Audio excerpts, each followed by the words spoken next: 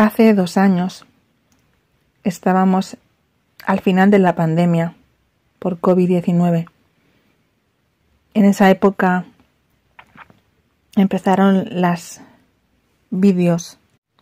Vídeos, quiero decir, no nos podíamos tocar ni besar, pero se dieron lugar los programas por YouTube, por Zoom, por Meet, por un montón de sistemas en los que las personas, ya que no nos podíamos tocar, queríamos vernos.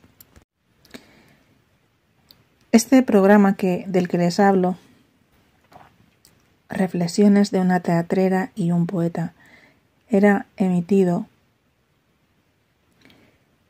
en directo por Carmen Ruiz Mingoranse y Pedro Enríquez.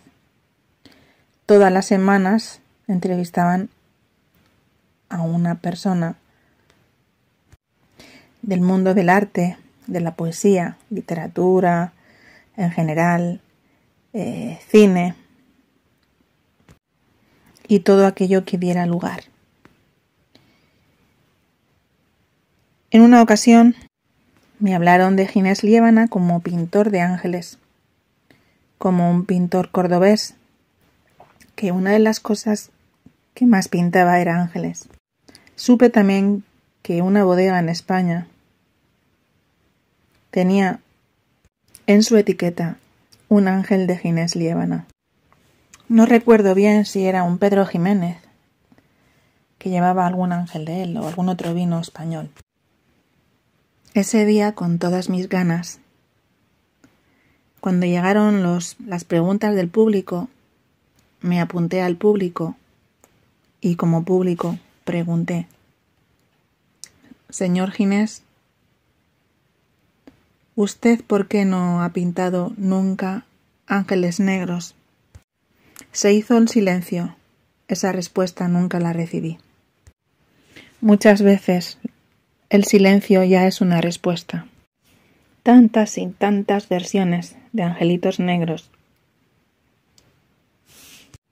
Antonio Machín, Lola Flores, Nana Muscuri, Eta Yams tal vez, una canción que se ha versionado mucho. Cuando una pregunta no tiene respuesta, muchas veces ya el silencio ya es la propia respuesta. Como bien he dicho,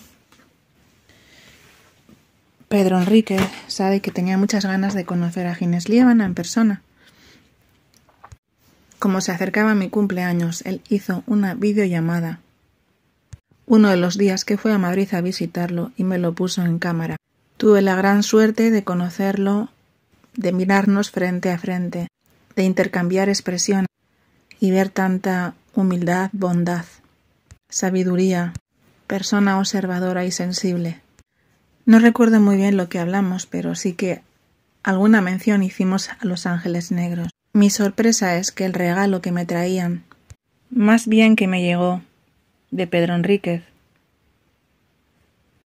fue un libro de Ginés Liébana, dedicado, su libro Bestiamante, Asalto a la Perfección. Nunca me llegué a emocionar tanto por un regalo que para algunos un poema, un test, un lienzo, es insignificante, pero para otros muchos nos llena. Bestiamante es un libro de la editorial Almuzara y en su primera página trae un texto.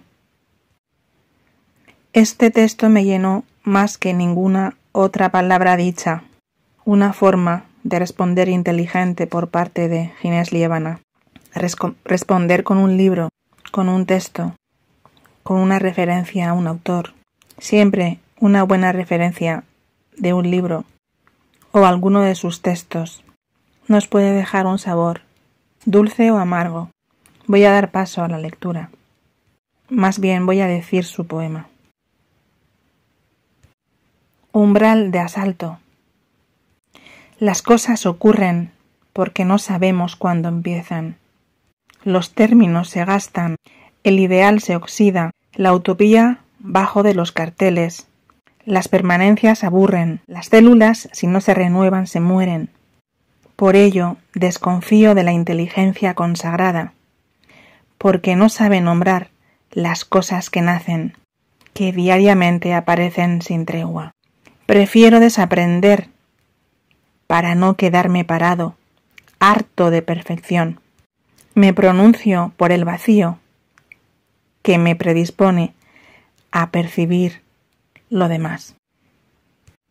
Entre lo demás, el ángel negro. Así lo afirma Ginés. 2 de octubre 2021 para María. En apenas tres días voy a cumplir 50 años. Medio siglo, diría mi hermano. A pie de este texto hay un, una nota que dice, el punto particular del amor tarda en nacer y cuando se presenta a veces no es admitido. Otras veces muestra su desamparo fuera de lugar. La frágil mudanza vacía, sin uso, sin dulzura, es venerada por el caudal que deja el sin vivir. Fue el regalo más bonito que me hicieron, que me hizo Ginés Lievana. Fue una respuesta preciosa a mi pregunta, mi pregunta noble sobre qué pasa con los angelitos negros. Pero nunca te acordaste de pintar un ángel negro. Pintor, si pintas con amor, porque deprecia su color. Si sabes que en el cielo también los quiere Dios. Pintar de santos de alcoba. Si tienes alma en el cuerpo, porque al pintar tus cuadros te olvidaste de los negros. Siempre que pintas iglesias, pintas angelitos bellos, pero nunca te acordaste